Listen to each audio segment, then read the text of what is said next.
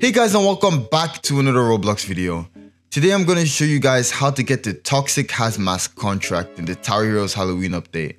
Now this is one of the contracts you have to actually do solo, so I'm going to walk you guys through it and then also show you the sped up gameplay. Firstly, before we do anything, let's set up our deck. For this map, I suggest bringing Lure, Bite, Lemonade Cat, Balloon Pal, and Spectre. It's what I used and I found it very efficient. Now to actually get to the Toxic Hazmask game, don't just go into Pumpkin Paranoia and expect them to spawn in.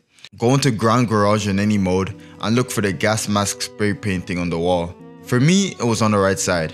Once you click on it, you will get teleported to the special Pumpkin Paranoia game. Now how to beat it. Get all your Lemonade Cats placed, place some lures, and just upgrade Lemonade Cat as you place more lures. As you can see it's wave 6 and I already have a level 3 lure, that's because quality is better than quantity right now. Sometimes it's better to have your troops at different levels and just let one of them carry. Turn off auto skip at wave 10 because a new enemy is gonna come and I was able to clutch it because of my fast reaction time but I don't want you guys having to clutch anything.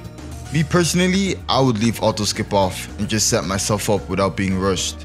I maxed Balloon Pal since I had all my lures placed and once you get your lures maxed you can definitely turn auto skip back on. So from there, you just max Spectre and keep spamming your lure abilities. This map is so generous with mana, I think you could get all your lures to target like 5 or more enemies at a time. Remember, if it ever looks close, just use Spectre ability or even Balloon Pal because you'll have enough mana for it alright. I moved my bites back a bit because I didn't like the way they were placed, but that's kind of it. I turned auto skip off again at the last wave and when I got to the boss I just stunned him with bite, used Spectre boost and he died after my second bite stone. I'd say that was pretty alright.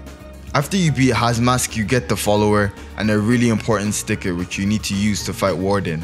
I'll make a video on how I beat that, but make sure to drop a like on this one if it helped, and I'll see y'all in the next one. Peace!